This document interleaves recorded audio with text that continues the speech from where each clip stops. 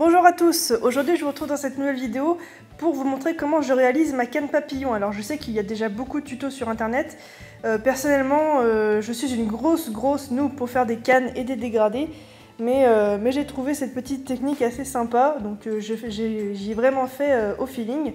Donc comme vous voyez je fais d'abord un petit dégradé or et rouge, avec un petit peu moins d'or que de rouge, que je vais ensuite replier en accordéon pour créer ma, première canne de couleur.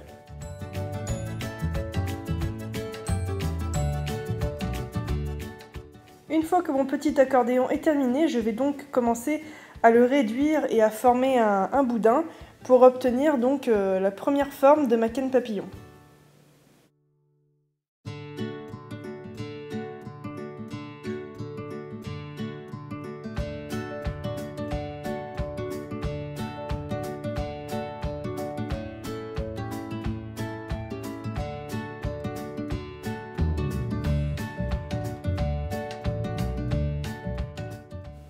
Je découpe dans ce boudin euh, des morceaux de la même hauteur que je vais venir appliquer sur mon plan de travail pour faire une espèce de, brouillon de ce que je vais faire, en essayant toujours de mettre le côté doré euh, dans le même sens. Donc voilà, au bout du compte, on, va avoir quelque chose dans ce goût-là. Et ensuite, il ne me reste plus qu'à enrouler tous ces, euh, petites formes de gouttes dans de la pâte noire, une fine couche de pâte noire, et à réassembler le tout comme je l'avais fait au départ.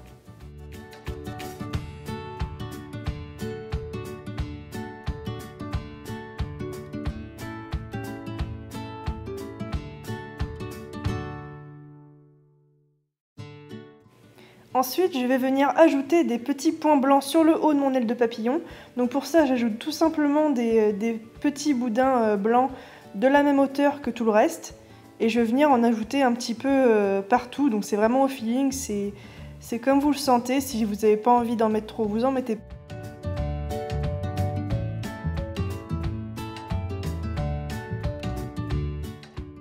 Et pour mettre plusieurs couches de petits points blancs et pour bien les séparer euh, tous, je vais euh, mettre entre chaque euh, couche de points blancs une petite couche de pâte noire. Comme ça, je peux ajouter le nombre de points blancs qu'il me faut. Alors personnellement, j'en ai mis trois couches.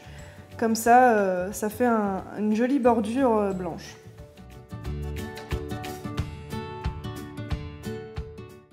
J'entoure une dernière fois toute ma canne avec de la pâte noire. Je veux commencer à la réduire donc moi, j'y vais pas par carte chemin, hein. je, fais un boudin assez grossier, tout en essayant de garder un maximum de pâte à l'intérieur, donc qu'il n'y ait pas trop de rouge qui dépasse. Et euh, comme vous voyez, il y a un petit trou, il y a encore du rouge, j'aurais dû remettre de la pâte noire, mais bon, c'est pas bien grave.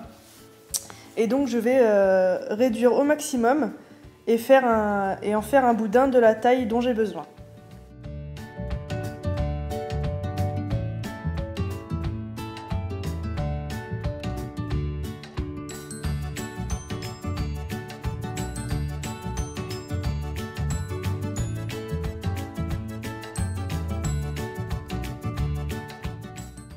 Et là, c'est le moment magique de la découpe, donc j'enlève le trognon et je vais regarder si ça a fonctionné. Donc comme vous voyez, on a un joli motif de papillon à l'intérieur. Donc je suis relativement contente vu que, comme je vous l'ai dit, je suis une bille avec les, cannes. Mais celle-ci a plutôt bien fonctionné. Et ensuite, je vais découper euh, euh, les, morceaux de, la bonne taille en fonction de ce que j'ai besoin aussi euh, pour faire mes bijoux. Voilà, j'espère que ça vous aura plu. Si ça vous a plu, n'hésitez pas à vous abonner à ma chaîne. Moi, je vous retrouve la semaine prochaine pour un autre tutoriel. Ciao